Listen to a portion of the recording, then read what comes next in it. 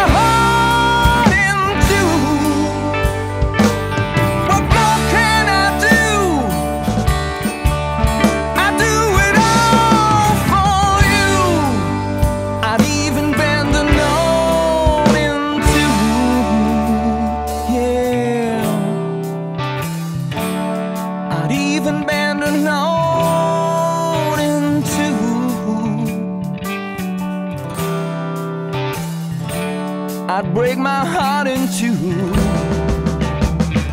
Yeah, yeah.